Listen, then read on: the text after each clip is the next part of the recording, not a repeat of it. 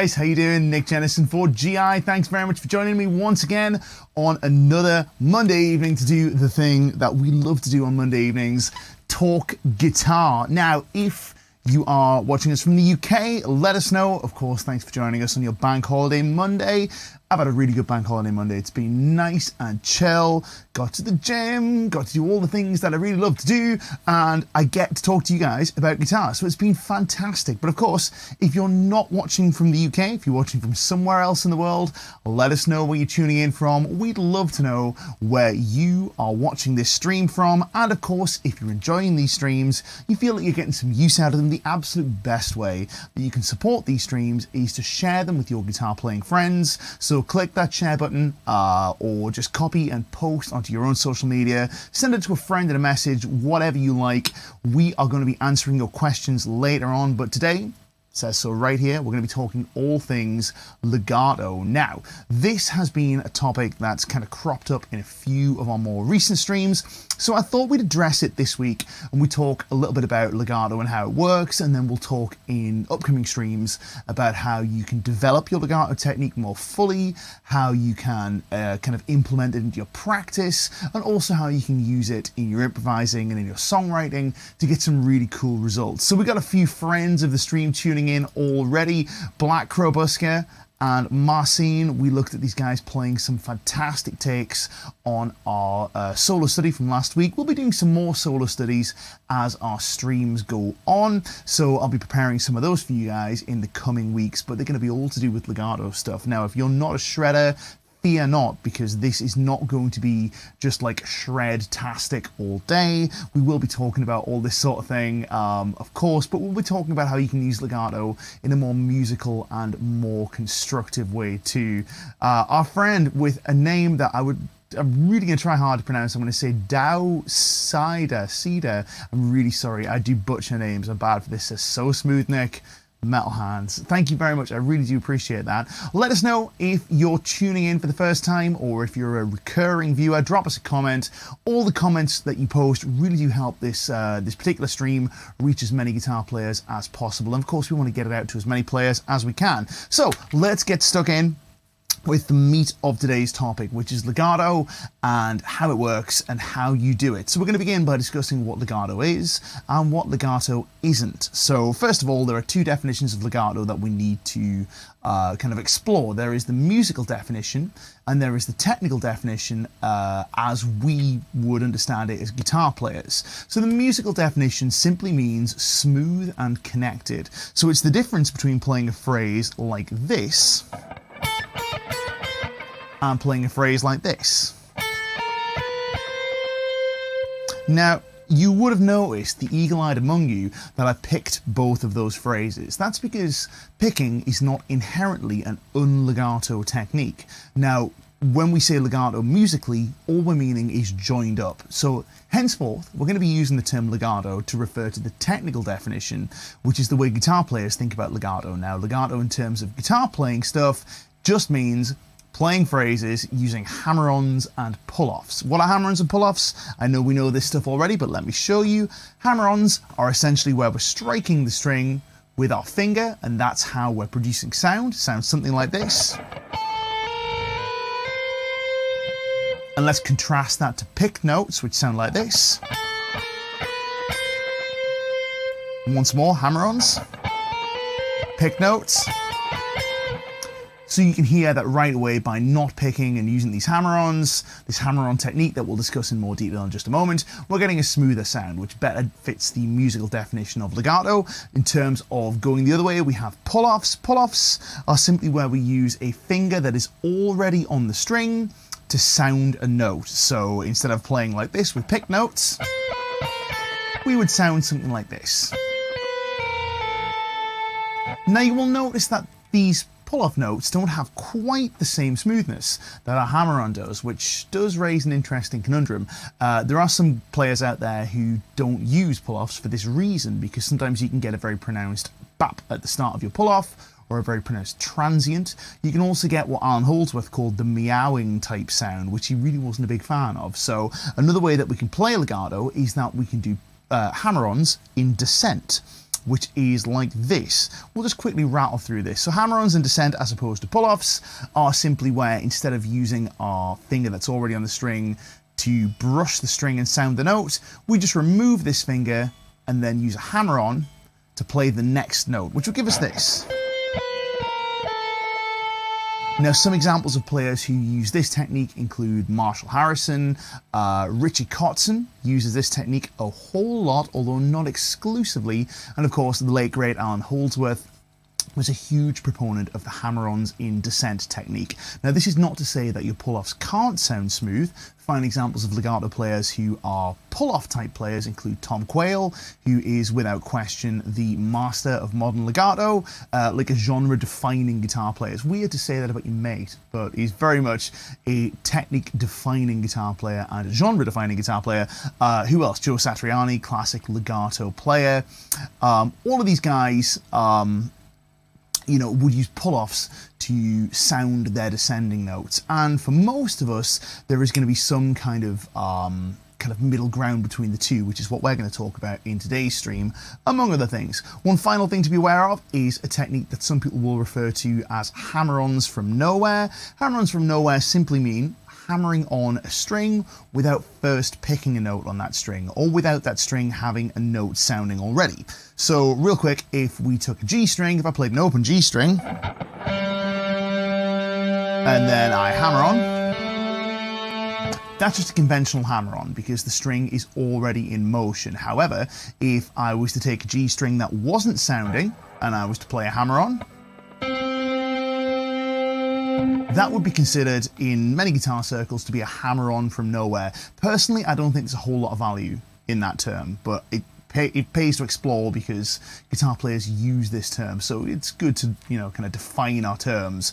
I don't think there's a whole lot of value in thinking about hammer-ons from nowhere as their own thing. I just think of them as hammer-ons right? So a hammer-on can be onto a string that is already vibrating or a string that is not already vibrating. And guitar players do this without really thinking about it. So if you've ever played this lick,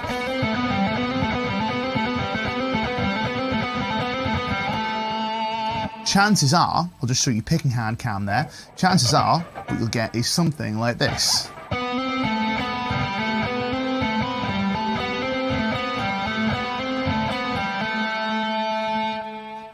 Apologies about the slightly low res picking hand cam, but you get what's going on there. We're not picking every note, we're not picking every string transition. We're actually using some hammer-ons to sound those notes. It just feels like quite an instinctive thing to do. So we've defined hammer-ons, we have defined pull-offs, we've defined hammer-ons from nowhere, we've defined hammer-ons in descent. Let's get a little bit more in depth about how they work, starting with hammer-ons. Now let's talk about what a hammer-on is and what a hammer-on isn't. So a hammer-on is as we've talked about previously, this is an important distinction, by the way, and this is going to help you get the most out of your hammer-on. So do pay attention, right? We are beyond the point of just mindlessly defining terms now. We already know what we're talking about. So, in terms of kind of helping you execute this, let's talk about how you might think about hammer-ons a little more clearly. So, what hammer-on isn't and I'm going to stress this very, very clearly, what a hammer-on isn't is slamming your finger onto a string. That is not the part that makes the sound. There is some component of that, obviously, but what makes the sound in a hammer on is the impact of the string onto the fret. Now, this is very important. It's not the impact of your finger on the string that makes the hammer on, but it's the impact of the string on the fret. And so much so, you can actually do this if you're smart enough and your guitar's got high enough action and you apply enough force, you can actually make that hammer on sound without actually taking your finger off the string at all. Your finger can stay in contact with the string and you can make a hammer on. So for example, if we try here, not the easiest thing in the world to do if you've never done it before, but we can make sound just by slamming the string onto the fret even without having our finger leave the string. So that's a very important distinction. What we're doing with hammer-ons, to be clear, is we are impacting the string onto the fret. Now, how hard do we have to do this? this is the million dollar question because it's probably not as hard as you think.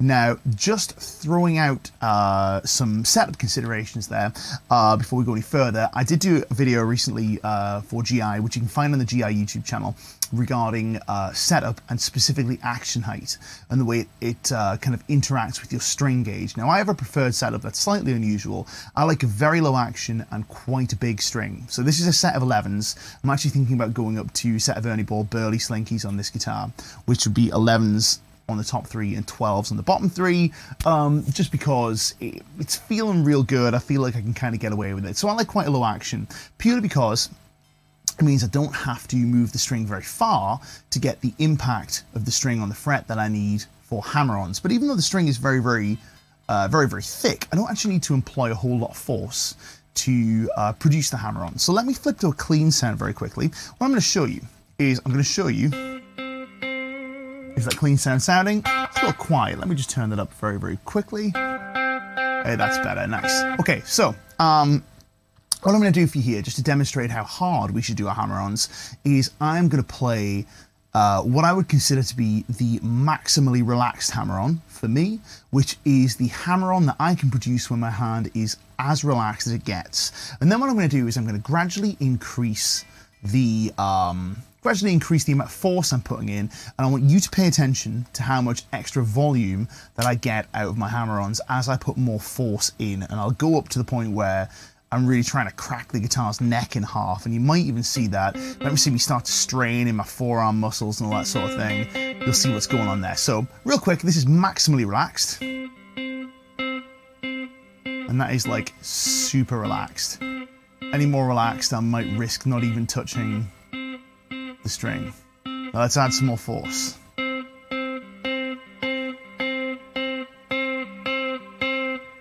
Extra volume, none. But what we are getting is we're getting the string starting to go slightly out of tune as I'm starting to really, really smash this hammer on. So I don't really like the idea of hammer-ons being a forceful thing. I don't think you should have to apply a whole lot of force to create a hammer-on because it's counterproductive. Also, it means that you end up as a ball of tension over time. There's a very small risk of injury with this sort of activity, but you might still risk a bit of injury. Who knows? Um, not a doctor, can't really talk too cogently on that. But anyway, um, the reason for this is I've set my guitar up in such a way that I can play a hammer-on in a maximally relaxed state without having to execute, without having to put a whole lot of force into the string and still get a reasonably loud sound. Now, if I want a slightly quieter hammer on, I can do that too. But when I start to add a whole lot of force, things just start to go sharp slightly, and I get this kind of like, um, like almost a nasal kind of tone coming out of it. So, in terms of how much force you should put into the string, that's how much, as little as you can, and part of that comes down to your guitar setup. So how should you set this up? Well, what I would suggest is starting with your string gauge of choice, and I think your string gauge of choice uh, shouldn't be so much about your left hand, but it should be more about your bending strength and your picking hand because the amount of left hand force you have to put in with a given string is best set up, it's best determined by your action height rather than by your string gauge. So I would suggest finding a string gauge that you can pick comfortably on, that doesn't feel like an effort to pick, but also isn't flapping around when you're picking in a relaxed state, and also a string gauge where you can bend and control it, and it doesn't sound all kind of like weird and boingy. Now because I'm quite a big fella, and I have fairly strong forearms uh, and a fairly strong grip, uh, I'm quite comfortable with 11s, but you know, there's I've used eights in the past. Like before I started training powerlifting cons uh, consistently, for example, um, I used to use eights because they felt great for picking. They felt great for for bending and vibrato. I felt like I could control. So that's the string gauge. I would start there. And then what I would do is I would take your action to the manufacturer's spec or somewhere there or thereabouts and gradually lower it until you can get a loud hammer on with that maximally relaxed pressure. Now, if you want to know a bit more about this, uh, we'll link the description. We'll link the video in the description. Um, where we discuss this in detail. So it's a GI setup video. There are actually two videos. There's a video on string gauge and a video on uh, action height. These are both kind of pertinent. So that's hammer-ons, right? Now, another little kind of variable with hammer-ons, which comes back down to the force thing, is should I use other fingers to assist hammer-ons? Now, this is a question people have uh, regarding the old hammer-on playing, let me show you what I'm talking about. So in terms of assisting, if I play a scale, uh, and let's say, for example, I play uh, something like this.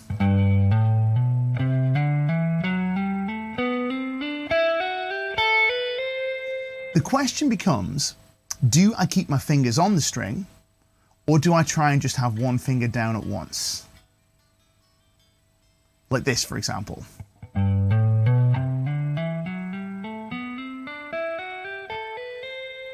Versus this. Now, it's my contention that you should be able to execute scale runs like this with just one finger down at a time. And if you can't, it might be down to your guitar setup. So it might be down to the fact that the guitar is like, um, you know, set up a little bit too stiffly for you to really execute this stuff. So I think you should be able to execute that stuff with, um, like I say, like a finger, one finger on at a time. The reason for this is it's going to enable you to use your finger one, which is normally the finger that gets left on, to transition from string to string a lot more smoothly. So if you have difficulty getting from string to string, it could just be that you're leaving fingers down kind of unnecessarily, which leads us on to pull-offs. So pull-offs, the flip side of the old hammer-on equation. Now what pull-offs aren't, very quickly, let's just stress this. Actually, I'll tell you what, let's talk about this in two perspectives. There's two ways to do a pull-off, in my opinion. There is what we're going to call a brush, and there is what we're going to call a pluck. It's very important. Brush, pluck. Brush is where we simply use the friction of the fingertip to sound the note. Whereas a pluck is where we actually grab the string and displace it physically, taking a pay close attention to my B string here, physically displace the string before it pings out from under our finger like this. Now, plucks are cool for certain expressive techniques. So, for example, if you wanted to do something like this, um, let's say I wanted to play some lines with uh, a really pronounced pull off type sound at the top.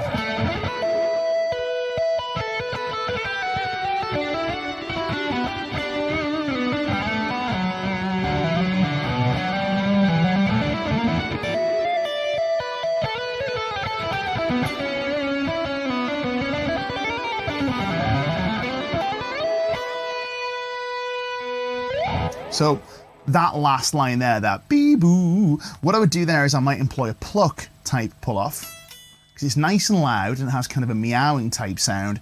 I think it sounds pretty cool. However, it shouldn't be your default technique. Your default technique should absolutely unquestionably be a brush type hammer on. Now, the reason for this is because you don't get a whole lot of extra volume out of a pluck if your guitar's set up well. So let's compare. Here's some brush pull-offs. Here are some plucks. The tone is different, but the actual amount of volume you're getting, not so much. However, what you are getting is a whole lot of additional tension when you're uh, doing these pluck type pull-offs because it requires a lot more effort. So you put the effort in, your hand takes a little while to kind of like dissipate that extra tension. So it does slow you down somewhat if you do pull-offs consistently as plucks. So what we've established so far is we've established that hammer-ons are best done thinking about them as impacting the string onto the fret, whereas pull-offs are best done most of the time as a brush with the option for a pluck. Other things to consider is with hammer-ons, you should really be able to play with only one finger down at a time. You shouldn't need to have all of your fingers down to play convincing legato lines. Now I'm going to play some lines for you in just a second. One final consideration is to flip that last one about fingers down uh, when it comes to pull-offs. When it comes to pull-offs, there is an argument to say that you should prepare each of your pull-offs by having the finger that you're going to pull off to down in advance. My argument with this is that I think that's limiting because you have to then like plan too far ahead. I don't think that far ahead when I'm improvising. I don't tend to think about I'm going to pull off to here, and then to here, then to here, and then to here in this order. I think it's best to be able to react to lines you're playing and have a finger on, and then get, pardon me, that went very wrong, and then get the next finger down just in time to uh, to play your convincing sounding pull off. So I'm going to throw the backing track back on. What I'm going to do is I'm just going to noodle a little bit with some legato. I want you to pay attention to what's going on in terms of um, the amount of fingers that I have on a string at any given time. I want you to pay attention to how relaxed my hand is. I want you to pay attention to when I'm employing pluck style pull-offs versus brush style pull-offs. Let's doodle and let's see what happens. I think I'll change the backing track, you know? I think I might do this one.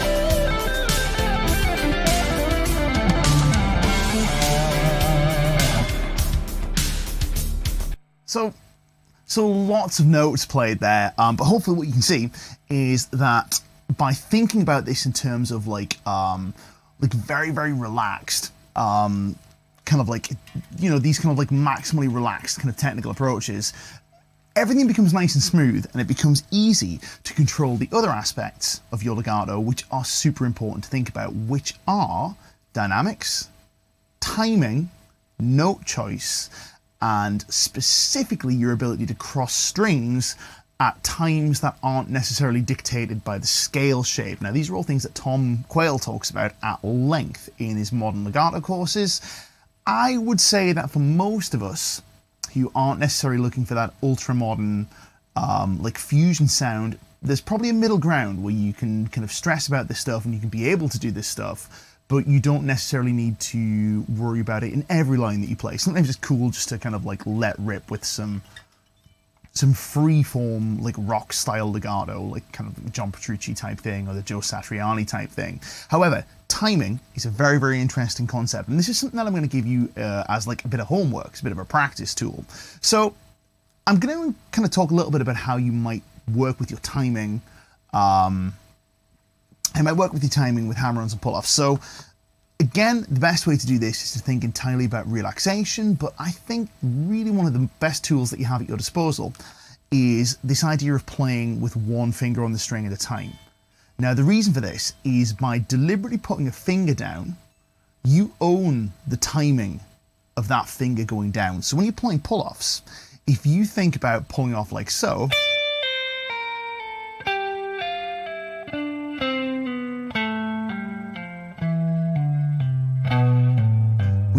already have your fingers on the string ready to be pulled off too, uh, what you can do, uh, what you kind of end up doing there is you end up being a little bit of a slave to the way your hand works in terms of timing. However, if you put the finger that you're about to pull off to down just as you need it, like so,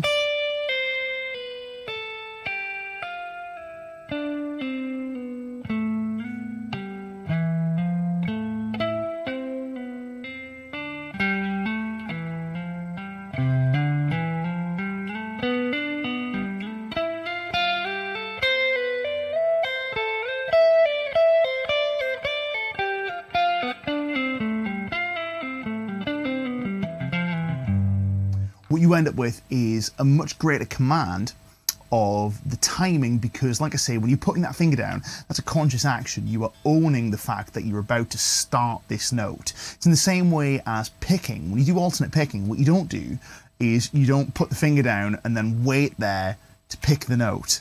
You pick the note as the finger goes down, and that's how you own the synchronization of left and right hand when you're doing picking. It's the same with pull offs. So, with pull offs in particular, because they seem to be where people lose their timing a little bit. Hammer on timing's not so bad. Hammer on timing is quite easy, um, comparatively anyway. Pull off timing can be an issue. Think about it a little bit like picking. So the note that you're about to sound, you put that finger down as you need it, literally in time that you need it, and then you pluck that note. Bad way of putting it. You brush that note, you sound that note with the finger that's already on the string. It's just like using a plectrum, but just happens to be this finger instead. And that's how this sort of thing works. So in terms of developing your timing, what I'm going to encourage you to do, this is also works for developing vocabulary, is I'm going to encourage you to work on freely improvising. So let's say using a backing track. Let's say we're going to use, you can use a metronome, but backing tracks are more fun. So let's say, for example, we threw on, uh, ooh, let's pick one. Let's say I was going to throw on the ambient ballad in E major, which you can find on the GI YouTube channel big fan of this backing track, by the way. This is one of my favorites to doodle over. What I would suggest is assigning yourself assigning yourself uh, a timing that you want to work with. So let's say you wanted to work with eighth notes over this backing track. I would encourage you to play as freely as you can. Don't judge the note choice necessarily, but I would encourage you to work very, very hard on focusing on the timing and really owning the timing of each note and making sure that you only have one finger down at any given time while you're practicing this stuff. And if you find that very, very difficult, it might be that you need to address the setup of your guitar to better facilitate the way that you're playing. Now, this comes down to the argument about setup and tone and all this sort of thing. The best sounding setup is the setup that enables you to play your best. That's the top and bottom of it, right? There is no one magic setup that is best. The best setup is the one that enables you to sound your best. So play with your setup until you can play as well as you can. So let me show you what I'm talking about. Let's do some eighth note improvisation. I'm going to try and own some timing with the uh, with the backing track we have going on here in eighth notes. Here we go.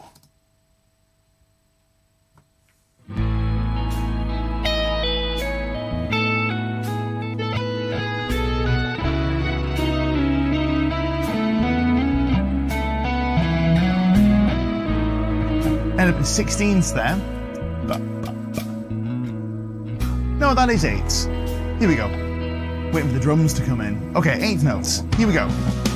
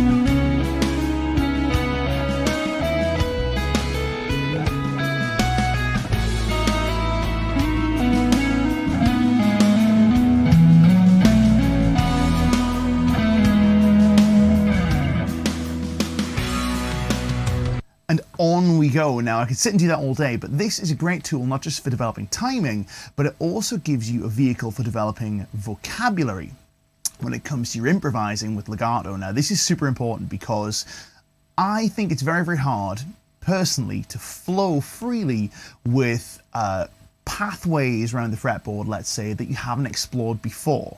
So, what I would encourage you to do in your practice time is to throw on a backing track, try and work on your timing, but while you're doing it, I would also be listening out for combinations of notes that you really like. Now, it can be specific combinations of notes in terms of I really like E, D sharp to B, let's say, or it could be uh, contours. So it could be something like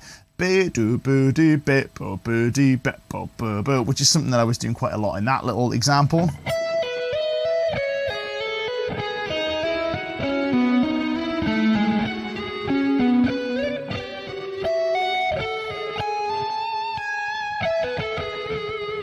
Now, when you find one of these contours that you like, you can just try and play it wherever you can find it on the fretboard. It's a really nice kind of like double-edged way of practicing. So um, just real quick, by the way, I want to address a question here. Blue Sumlin, uh, friend of the stream, has said, any free backing tracks available from GI?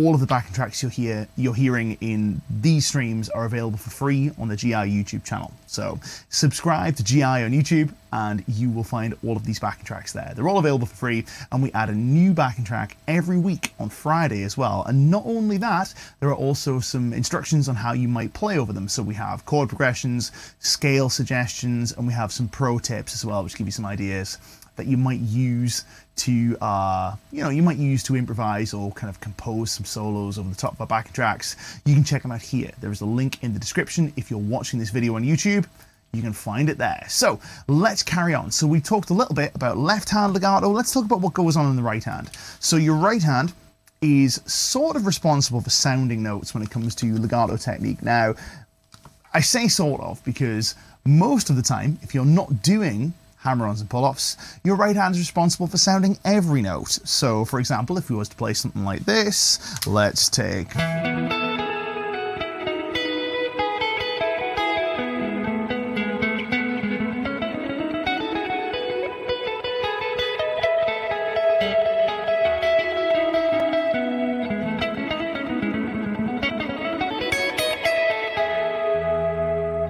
In that example, my right hand is sounding every note. However, with legato, we don't need to do that. We can use the right hand to sound some notes, but not all of them. Now, conventional wisdom, which dates back to maybe in the 70s and 80s, is that you should pick a note. It probably actually dates back to classical guitar when guitars were really hard to play.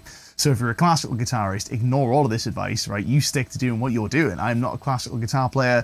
I am an electric guitar princess. I have lovely, easy setups, and I don't need to worry about making guitar impossibly loud I've got an amp for that. So anyway, um, yes, conventional wisdom is that you should pick a note when you greet a new string. Let me show you what I mean. So for legato technique, the conventional wisdom is that when it's time to play a new string, like so,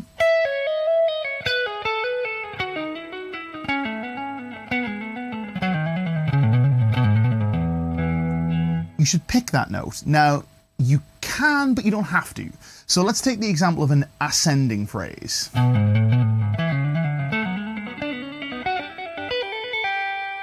So a fairly rudimentary legato phrase. What you can do is do what I've done in that example and pick every note, or what you can do is you can hammer when you get to your next string. Now this doesn't mean that the right hand is completely useless. What you'll notice my right hand doing here is I'm muting the strings that I don't want to play. So I'm still got my right hand in position.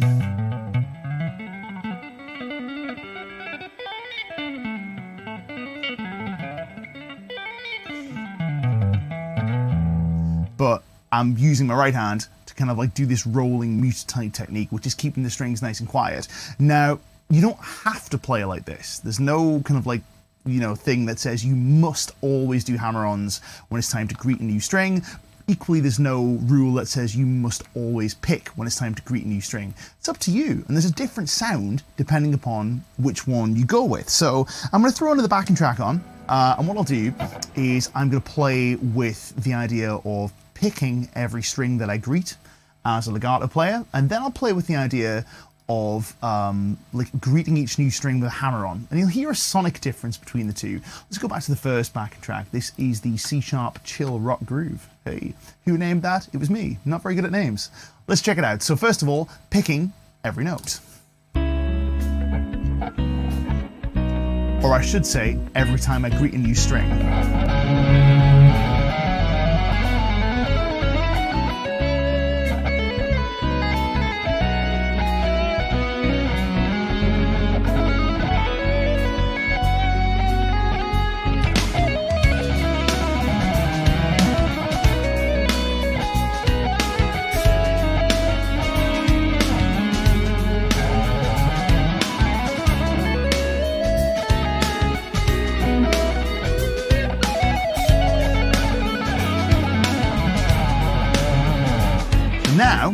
Let's do it again, but this time, instead of picking every time we go to a new string, let's hammer.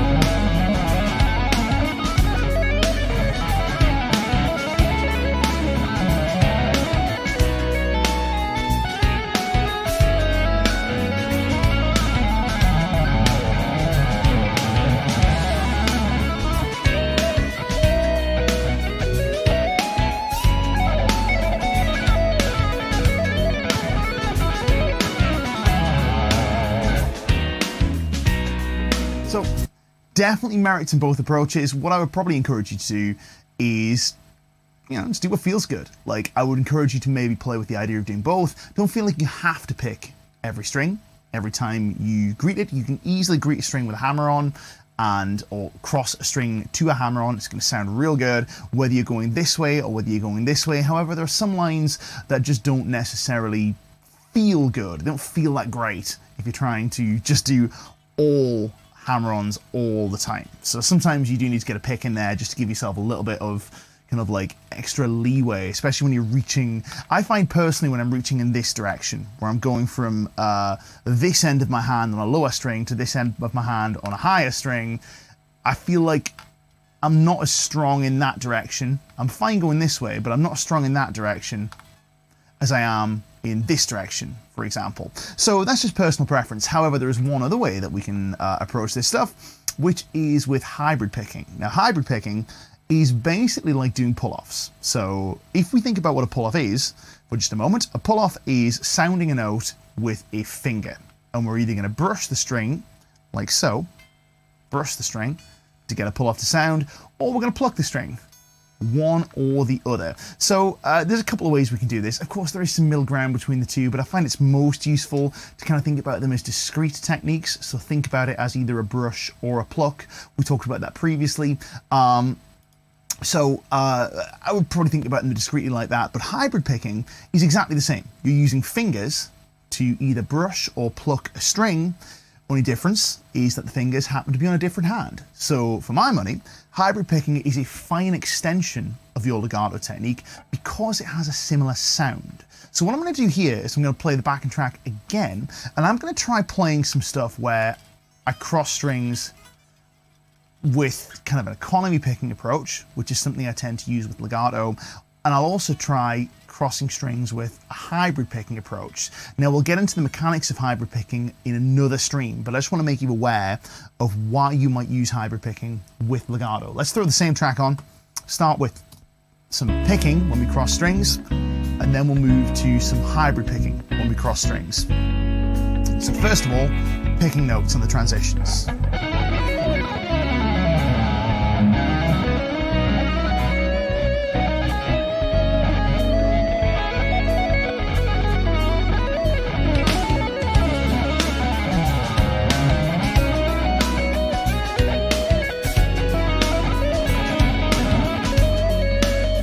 Now hybrid pick.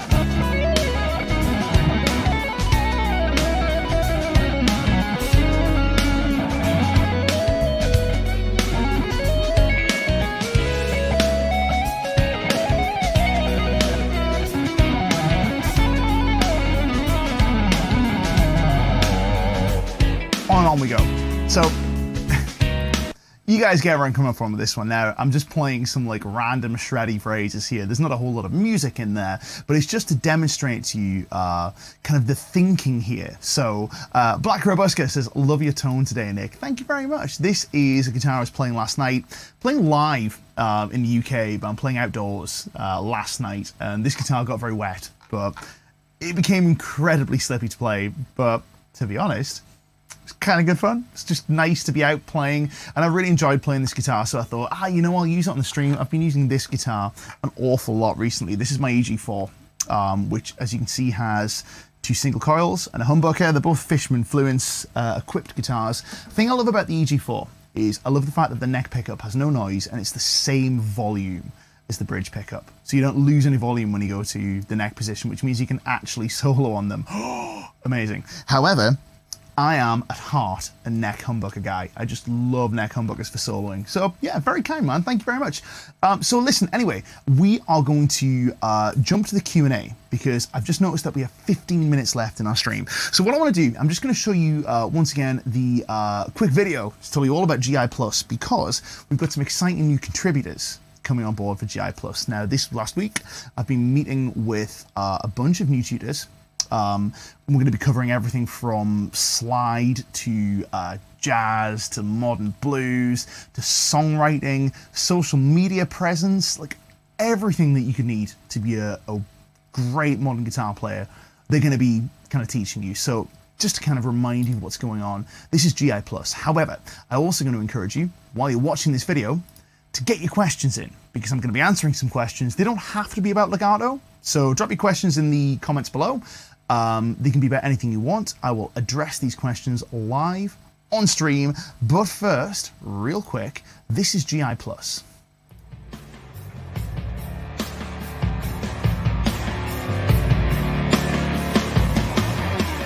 My name is Nick Jennison, and it's a pleasure to introduce to you GI Plus, the brand new lesson platform brought to you by Guitar Interactive.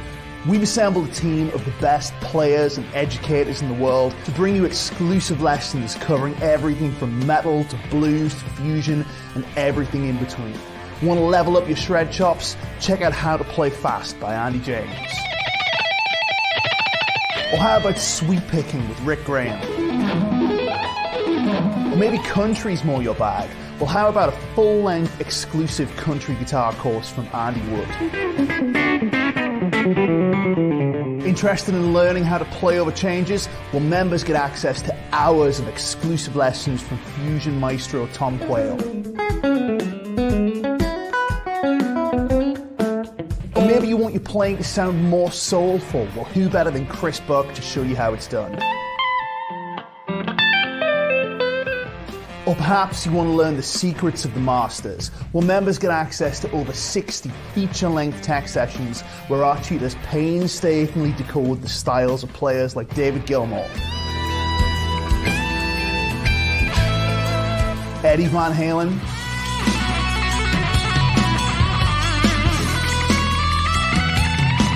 John Petrucci,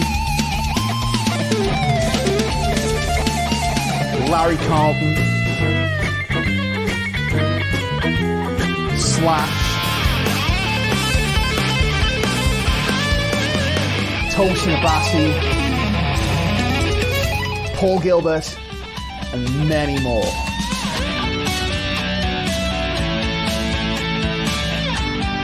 You get all this along with exclusive live webinars, free backing tracks, competitions, and so much more. So what are you waiting for? Sign up for GI Plus today.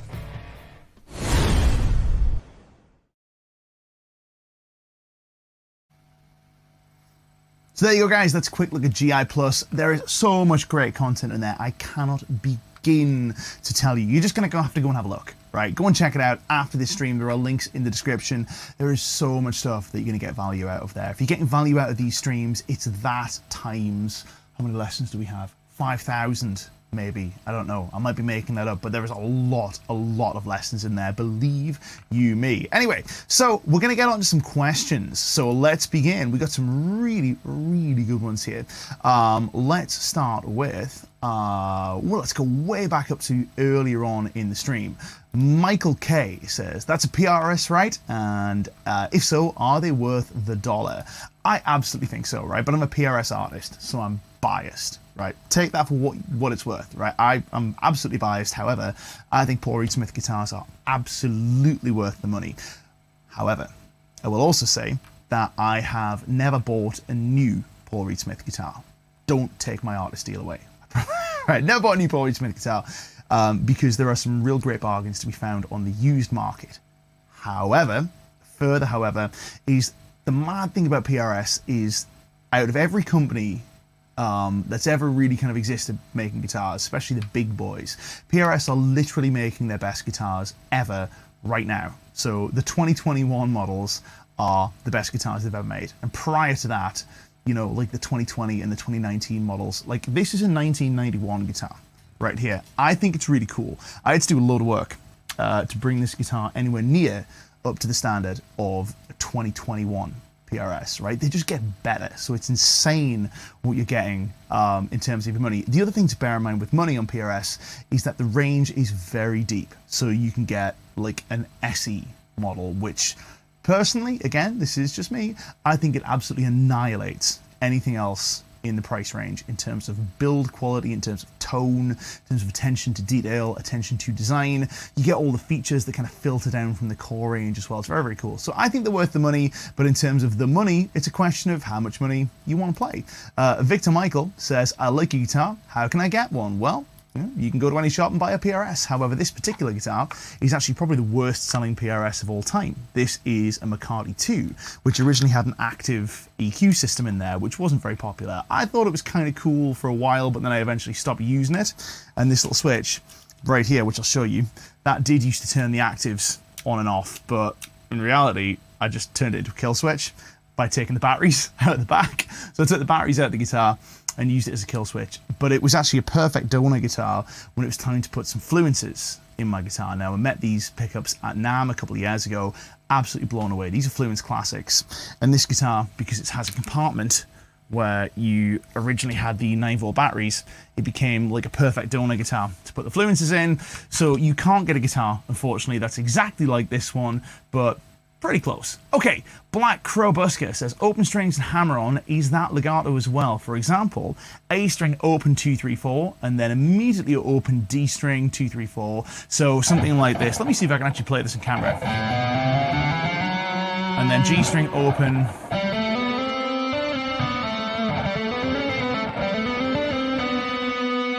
Uh, that's a nice phrase. I like that.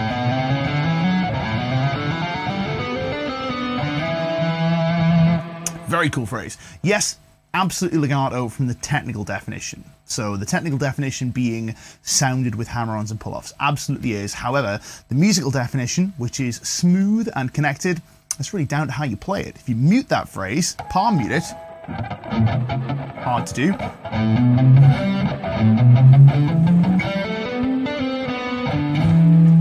Not so legato because we are disjointing the notes. So from the technical definition, absolutely it is. From the musical definition, not so much. Let's keep going. Blue Sumlin says, low action and hours of practice with response to our action question. Yep, I, I won't lie to you, man. Like, this stuff does take a while. However, it doesn't take as long as you think. It doesn't take as long as you think if you're smart about it. Um, and you're dedicated and consistent with your practice. Now, what I mean by dedicated and consistent is not like you know you spend two and a half hours practicing every day and you have a routine that you must follow. That can work for some people but for other people it's you know, a surefire way to burn out very quickly. What i mean is just be uh, dedicated to the idea of getting better and do things regularly that are going to make you better on the guitar. In terms of how fast in terms of how much better it's really down to how interested you are in like becoming the best guitar player you can be, or whether you just want to have fun playing the guitar. I will say that the guitar is not a sport and it is not a race, right? So it's not about being, you know, uh, it's not about all of us wanting to be Guthrie Govan. You know, it's about wanting to be better at something we love and enjoy what we love doing more because we're better at it because we're able to do things that please us more.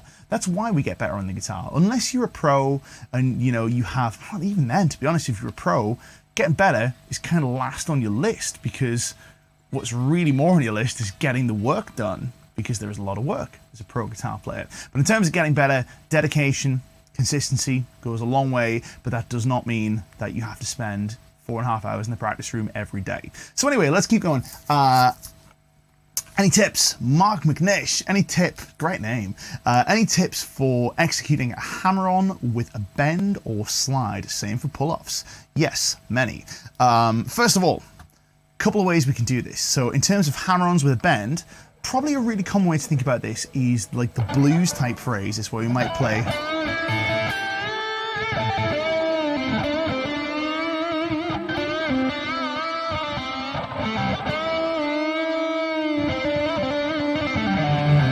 Now, a, a tip for this with using bends for uh, with hammer-ons is to have a clear delineation as to which part of your anatomy is responsible for which part of the sound. So what I mean by that is, let me show you real quick. If you're using your fingers to push a bend, but you're also expecting them to be able to hammer on and pull off, that is not going to end well. So for example, if I'm here and I push this bend, let's say I want to pull off at the top of this bend, that's not easy because my fingers are out of position to execute pull off. However, if I keep my fingers in a fretting position and use the bigger, stronger, and more importantly, currently unoccupied muscles of my forearm and even my upper arm to push the string, my finger position doesn't change. So I can easily execute pull-offs if I so desire, even at the top of a bend. But when you get to the bottom of a bend, it's the same.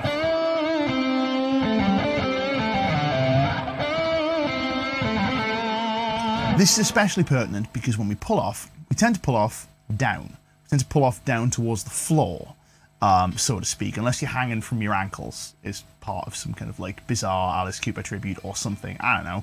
I don't know what you get up to in your spare time. But um, anyway, so we generally pull off down. So if your fingers are embroiled in the act of pushing up, it can be very difficult to switch that direction gracefully into a pull down. So I would encourage you, like I say, to very clearly delineate the bending muscles from the fretting and pulling muscles. Fretting happens in the hand. Happens with the fingers, and pull-offs happen in the hand with the fingers. Of course, there is obviously some forearm action in there because these are the muscles that operate your fingers. But the motion for bending comes from the arm, it doesn't come from the fingers. And this is why, because it means that you are clearly able to reverse one motion into the other. Same is true for slides. So if you're hammering on and pulling off on a slide,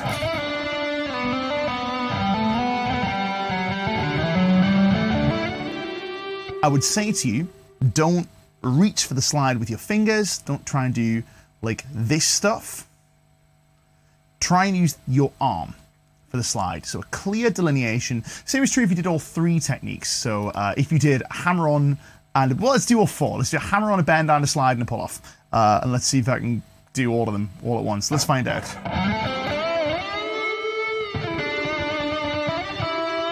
Yeah, that works.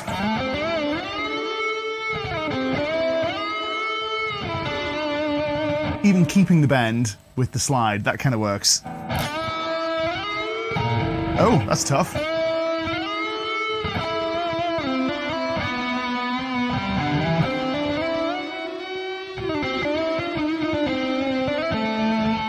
clear delineation as to which muscle is doing which job is my best tip for that. Uh, so let's carry on. We got some more. We got loads and loads and loads of uh, questions. So Blue Summerlin says, when learning scales, ascending and descending, hammer-ons and pull-offs seemed to just happen after many hours of practice. And I always seem to drop my pick with hybrid picking. Now this just happens thing is something that people um, will report. And I've heard a lot of students say this. Now, when they say it just happens, uh, it means that you're not having to consciously make this stuff happen. And that's good. Uh, your technique should, once it's well developed, be automatic in this sense. So you're doing it right. You shouldn't have to concentrate on this stuff. And it should be completely transparent to you when you're playing if you've practiced it enough. Um, we use the term um, like self-organizing for this stuff. You don't have to think about like angles of your fingers or any of that stuff. To be honest, anybody that tries to sell you on the idea that your fingers have to look a certain way or have to be angled a certain way or any of that stuff has let's be charitable. They have a questionable understanding of human anthropometry. Take it from somebody who trains and coaches the barbell squat. Believe me, there are lots of ways to do a barbell squat, and it's much, much more complicated when it comes to playing the guitar, let me tell you. So anyway, let's keep on going. Uh, Marcin, yeah, buddy, says, do you notice any difference when playing legato with active and passive humbuckers? Uh, not really, to be honest. Um, it's really hard to isolate just that variable. I guess, probably, I wish I had this guitar with me. So my uh, CE um, 24, another Paul Reed Smith guitar, has Devin Townsend Fluences, which are active voiced on voice number one and they're passive voiced on voice two, and I could probably experiment. What I'll probably say is that your typical active pickup, air quotes, uh, let's say an EMG type pickup, has a certain voice which is very smooth, very mid forward, and not super dynamic. So if you want absolute consistency, of your sound, an active pickup can be very forgiving, whereas uh, a passive pickup tends to sound, or a passive voiced pickup, these are powered pickups, but they sound like passive pickups. So passive voiced pickups tend to be a lot more dynamic, uh, and it means if you want super consistent legato, you have to probably be a little bit more careful with your technique, but it also means that you're able to exploit your dynamics, which is something we're going to discuss probably next week about legato. You're able to exploit that and get some more interesting tones perhaps. So yeah, there is a difference, I guess. Uh, let's go to Black Crow Busker. What backing track did he use today, Nick? I used a bunch of backing tracks from the GI YouTube channel. So we have um, the chill rock groove in C minor. We had the uh, ambient ballad in E major. And there's another one that I haven't shown you yet. This is one that I'm calling 80s Training Montage. That's going to be available in a couple of weeks' time. Uh, Marcin says, how was it meeting Yngwie for an interview? Yngwie is a total powerhouse of a human human, right? He is. I'm a shade under six three, and Yngwie's taller than I am, um, which was quite scary. You don't meet many people who are taller than you in the guitar world if you're quite tall already. Uh, and he just has a real presence about him. But I think the scariest thing about him was seeing him play and seeing him do the Yngwie thing live. And when you see him playing all these kind of like crazy. Oh, let's try that again.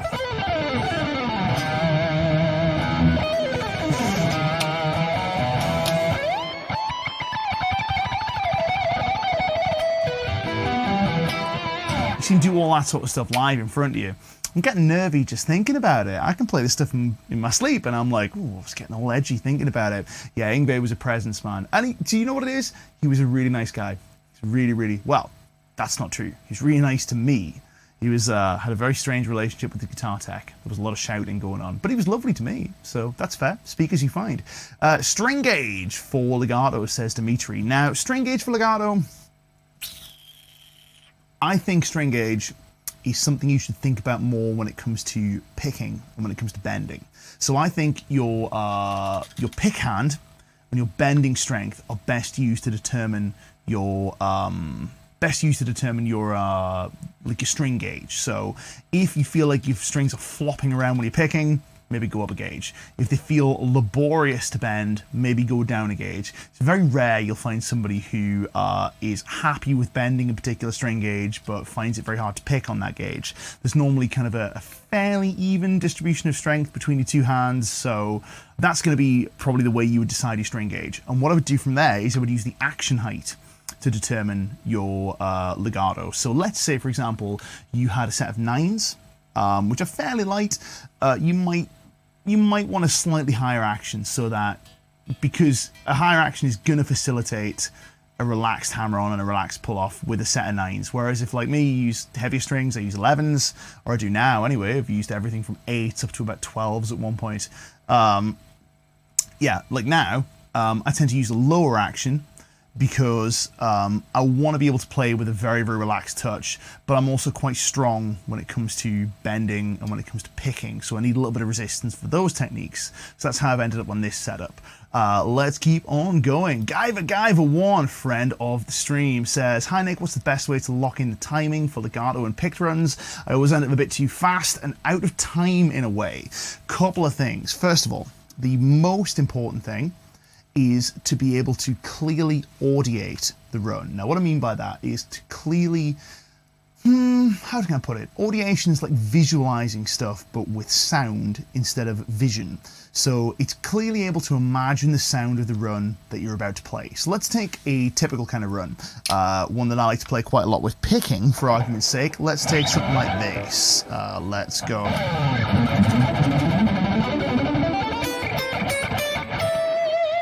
Again. Let's do it consistently from string to string. Now, because I'm able to clearly audiate that pattern, uh, I'm able to play it fairly well in time um, because I can kind of anticipate where I'm going to play the notes. Now, the the way your body works when it comes to fine motor control like this is it works well with uh, big picture type stuff like that. So if you can imagine a sound, your body's quite good, if you practice enough at least, is quite good at turning that sound into movement. And it's the same with, um, let's take the example of shooting a basketball, right? So let's say you're shooting a three-pointer, uh, which I'm not very good at, by the way. I'm terrible at ball sports. Barbell sports, I'm your man, but ball sports, terrible. Um, but let's say, for example, you're shooting a three pointer. So, what you don't do is you don't imagine every step of the process as a discrete individual action from the flexion of this wrist or the extension of this wrist, even. And then, you know, oh, I must raise my shoulder and then I'll draw this back and then I'll breathe and I'll do this and then I'll do this and then I'll release the ball. You don't think about that. You think about the trajectory of the ball and where you want it to go. That's it. You imagine the ball arcing through the air and going into the net. If you're able to do this with a run, in terms of sound, you're able to imagine it very clearly in terms of how it interacts with the music. You have a much better chance of playing it in time.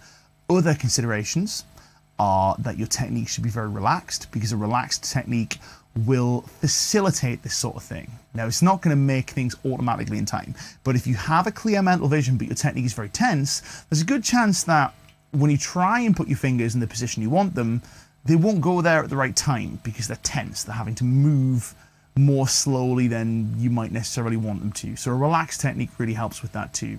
Um, another thing is just to practice this stuff. So throw on a backing track, find a subdivision, practice playing in time. So for example, with picking, uh, let's do ooh, let's do, do eighth triplets. Let's do that along with this track. And you know what I'll do?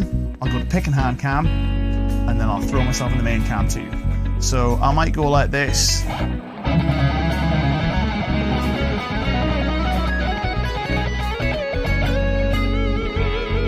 Maybe a little fast for demonstration. Let's try eights.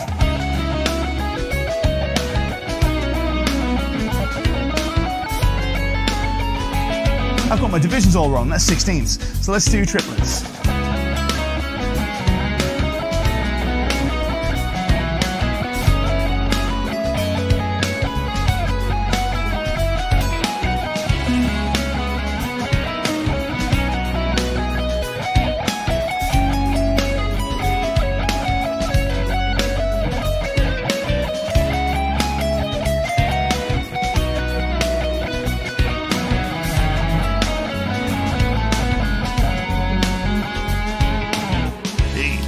That's a fine example. So there I'm able to actually kind of like clearly audiate the lines I'm trying to play. I'm trying to imagine them very clearly, but it's fast enough to be challenging where I'm having to push myself a little bit to, to try and stay in time. So I'm, I'm able to focus on the timing.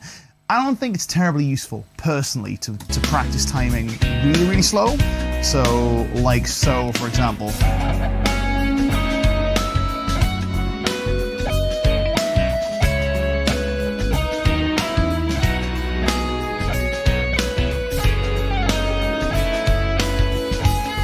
Because it's so different to the thing that you're trying to achieve. The speed is so radically different.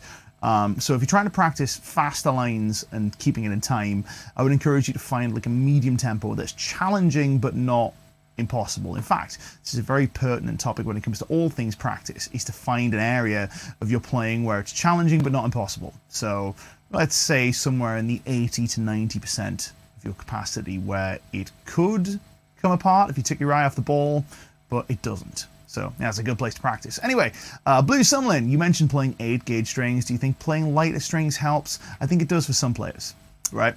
I use the string gauge analogy a little bit like um, shoe size. So, for example, uh, I think there's a string gauge for everyone. I think there's a string gauge that's perfect, and I think it changes over time. So, personally, there was a period of time for me where eights were the thing for me. It was just done. Eights were it. And then I got a gig reviewing guitars for a living, as you do, GI up here, which is a gig I'm very grateful for because it's so much fun. It's just best. I get to play guitars for people, and like, what is not to love, right? Anybody who complains about doing this job, need their head looked at. Anyway, so um, I started using tens because every guitar comes set up with tens. And I wanted to be able to play tens because I didn't want to get to a review guitar and find it impossible to play around this time, I also started getting interested in strength sports, and my grip got stronger. So I started using heavier strings.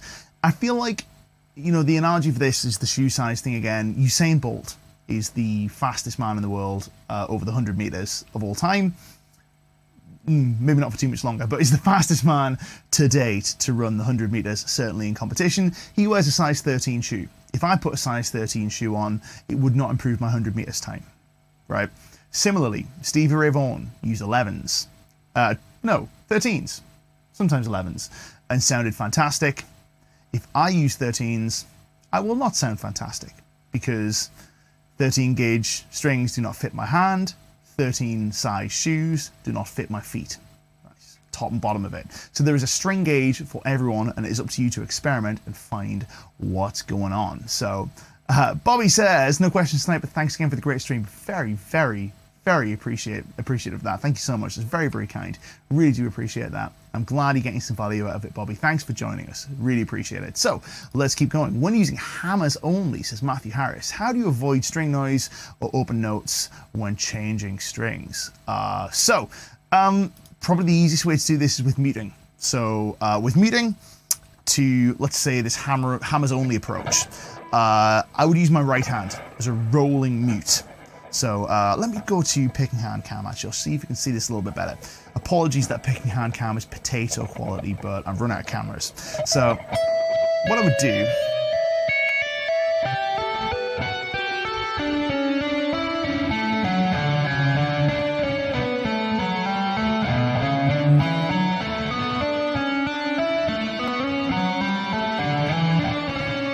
is I would use my right hand rolling around on the strings and just dampening whatever it is that I'm not trying to sound. That's probably the easiest way to do it. But the other thing uh, when it comes to uh, mitigating string noise with legato technique is to not apply too much force into the string compared to how much you think you need. So we talked earlier on about the idea of a maximally relaxed hammer-on being this kind of volume, super relaxed, right? Listen to what happens if I don't mute. Not a whole lot. Now let's start slamming this string. Listen to the other strings start to come active. I'm not even hitting those strings. But you can hear because I'm just banging on the guitar so hard, you can put a lot of force into the guitar with your finger.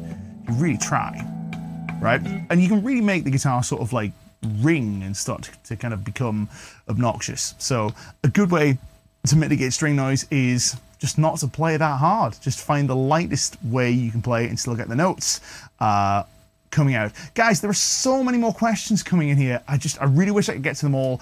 Uh, I'm just going to quickly address some comments and then we're going to have to go because we've already gone 11 minutes over time and uh, I get wrong for going over too long, but I love you guys, so I want to stay and talk to you, but hey. Uh, other guitars. Oh, here we go. Black Crow Busker. You ever played a Patrick Eggle Berlin or Vienna guitar from 1991 or 90, sorry, 1992 1993?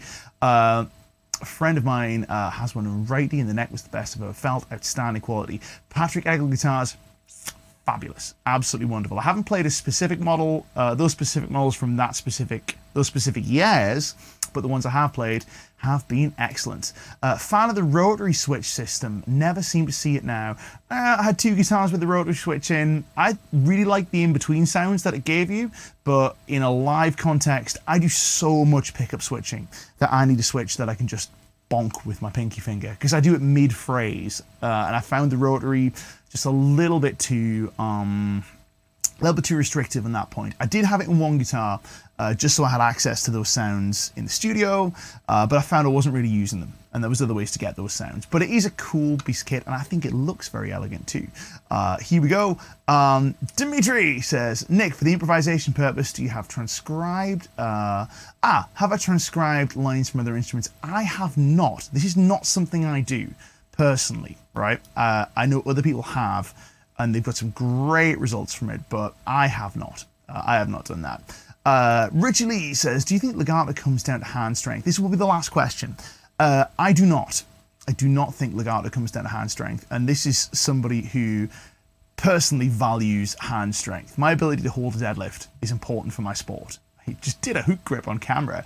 Um, anyway, what am I doing with my life? Anyway, so um, yeah, I don't think it comes down to hand strength. What I think it comes down to is the perfect interaction between hand strength and guitar setup. So I think setting up your guitar to match whatever level of strength is currently in your hand is the way to get your legato sounding as good as it can. And that can be done with action height or it can be done with string gauge or some combination of the two. So I think that's where it's at. And I think you should be playing legato with as relaxed an approach as you can. Like in terms of your hand strength, just make it super relaxed. Relaxed, relaxed, relaxed is the order of the day. But um, uh, yeah, I don't think you should be worrying about strength, and I don't think you should deliberately try to strengthen your hands for anything guitar related. I think the guitar should meet you wherever your strength is. Guitar is not a strength game. Guitar is not about being strong. Um, if you have strong hands through whatever reason, whether you work in a manual field, um, or you know maybe you're laying bricks all day, maybe you're a competitive arm wrestler, maybe you're seven foot tall. Who knows, right? Maybe you just got massive, huge hands, right? If you have strong hands, set your guitar up for your hand strength. If you do not have strong hands, don't try and strengthen them. Set your guitar up for the strength that your hands are at. And don't be afraid to change it over time. So we're to make that the last one. Thank you so much, guys. I could sit and talk to you all day. I'm to play for just a hot minute and then we are to dash. Thanks for having me. I really do appreciate it. I've had loads of fun talking about legato. We'll do a little bit more on this next week. If there's anything that you want to hear from us, though, any particular topics you want us to talk about, drop a comment in the GI live stream hub. There will be links in the description. It's a Facebook group where you can chat to other live stream viewers. Um, and of course, the absolute best ways that you can support these streams if you want to, if it's something you feel like you'd like to do, is by sharing them with your guitar playing friends, people you think might get value out of them, by commenting on these streams, giving it thumbs ups, all that sort of stuff, all the good stuff for the algorithm, and also by checking out GI Plus. GI Plus is the exclusive education platform from Guitar Interactive Magazine. Links in the description. Your memberships in GI Plus help support these streams, but these streams will always be free for you guys because you know, I'll have fun talking to you. I really enjoy spending my Monday nights with you guys, and I appreciate you coming out and talking to me about guitars. Anyway, enough of this nonsense. Let's play. Here we go. My name's Nick Jennison. I will see you guys next week.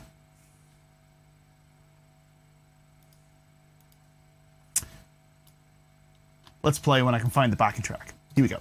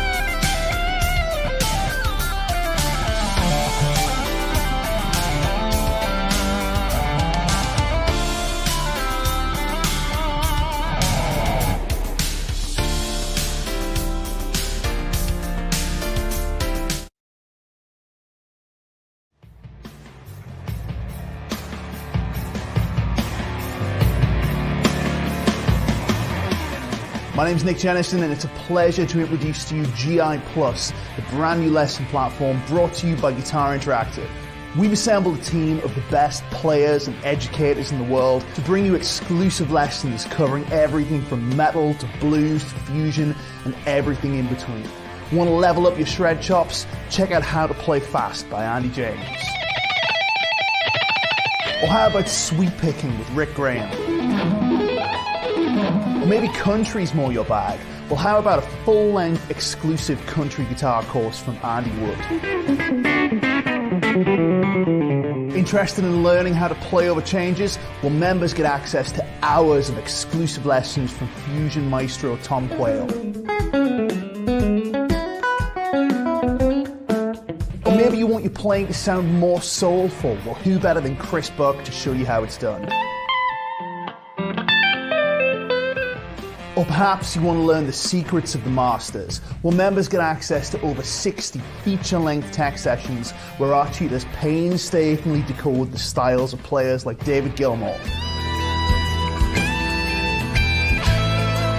Eddie Van Halen,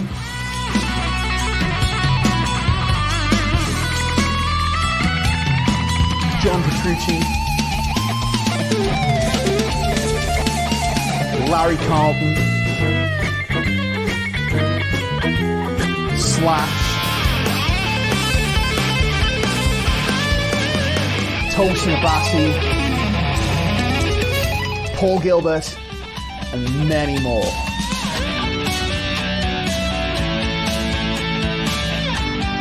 You get all this along with exclusive live webinars, free backing tracks, competitions, and so much more. So what are you waiting for? Sign up for GI Plus today.